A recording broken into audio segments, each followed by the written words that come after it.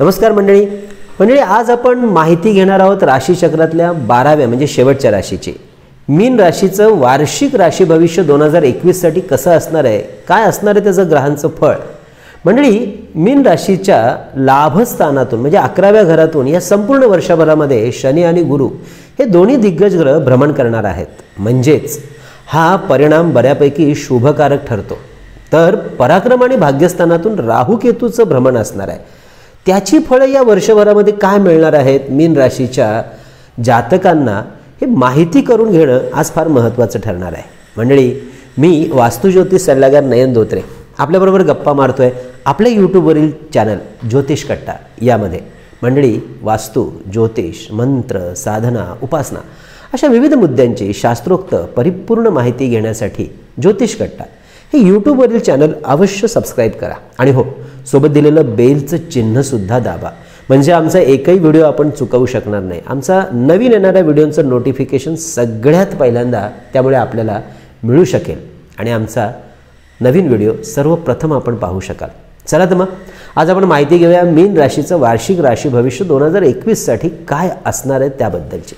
मंडळी पुढच्या काळाची माहिती आजच्या घडीला घेऊन आपण आज योग्य पावलं उचलली ना तर पुढच्या येणाऱ्या अडचणींना आपण यशस्वीपणे मुकाबला करू शकतो.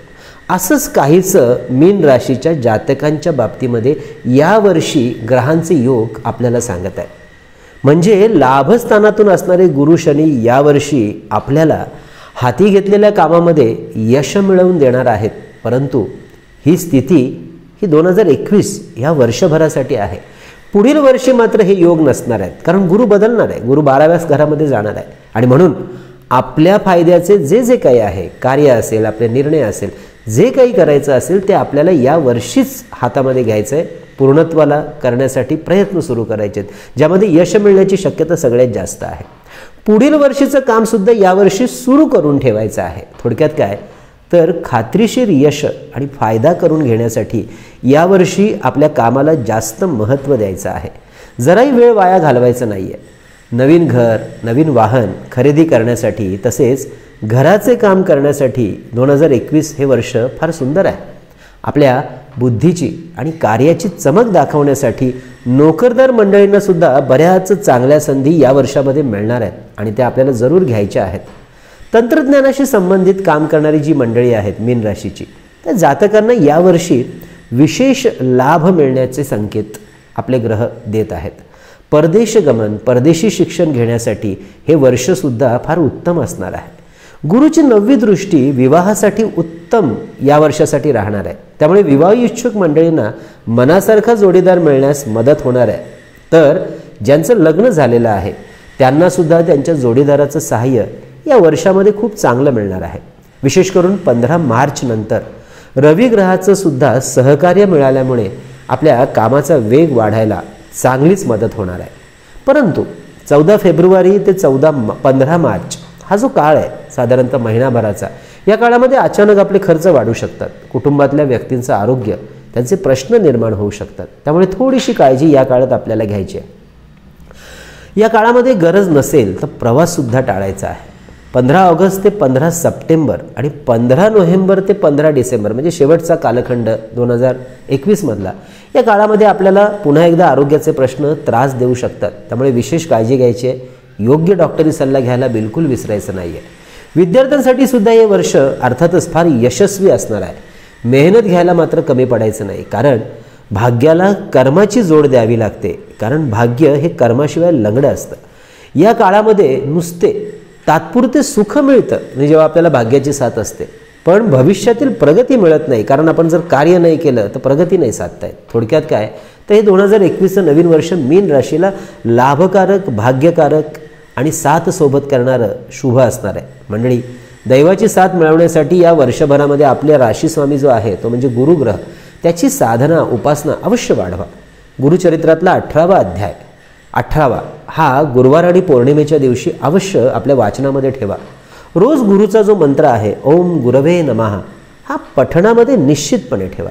शक्य झाल्यास या वर्षामध्ये गुरुस्थानामध्ये गाणगापूर असेल नरसोबाची वाडी असेल या ठिकाणी दर्शन घ्यायला चुकवू नका. आणि हो सगळ्यात महत्त्वाचं म्हणजे आपले जे कुलाचार आहेत हे अगदी मनापासून करा.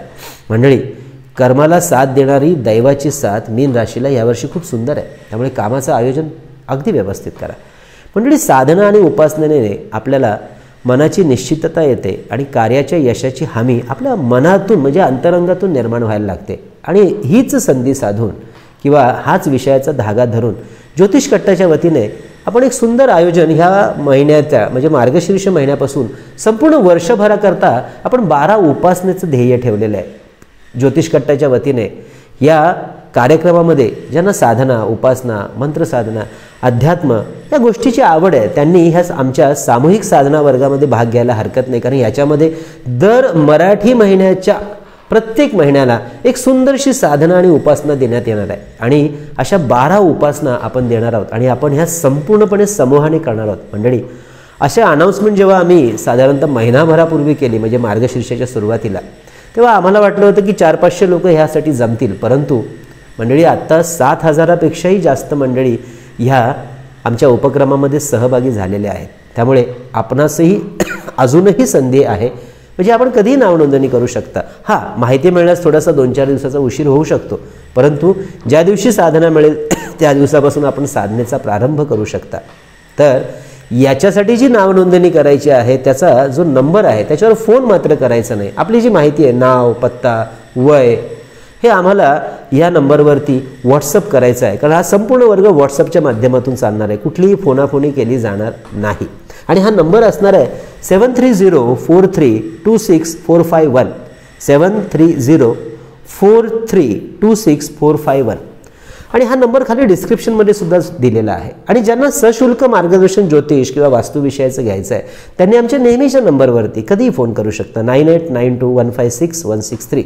आमच्या ऑफिसमधली मंडळी तुम्हाला त्याबद्दलची माहिती देते. आपण आपले अपॉइंटमेंटसुद्धा घेऊ शकता सल्ल्यासाठी. मंडळी आजचा विषय कसा वाटला? आवर्जून कळवा. आणि हे संपूर्ण नवीन वर्ष म्हणजे दोन हजार एकवीस हे सगळ्यांना भरभराटीचं जावं. अशीच आपण देवाच्या चरणी प्रार्थना करूया. मंडळी पुढचा व्हिडिओसुद्धा फार महत्त्वाचा असणार आहे. कारण आपल्याला अध्यात्मामध्ये प्रगती करण्यासाठी नक्की काय करायचं तर त्याच्यामध्ये मार्गशीर्ष महिन्यामध्ये ना आपण गुरुचरित्र वाचन केलं किंवा विष्णू सहस्त्रनामावली पठण करणं हे फार शुभकारक मानलं जातं. कारण याच महिन्यामध्ये दत्त जयंती असते. आणि म्हणून बरेचसे दत्त उपासक हे नरसोबाची वाडी गाणगापूर अशा ठिकाणी पादुका पूजन या करण्यासाठी जात असतात किंवा दर्शनासाठी जात असतात. तर त्याचं पादुका पूजनाचं काय महत्त्व आहे? काय महात्म्य आहे? याचा माहिती सांगणारा व्हिडिओ पुढच्या भागामध्ये. तो सुद्धा पाहायला विसरू नका. कळावे लोभय असावा. धन्यवाद.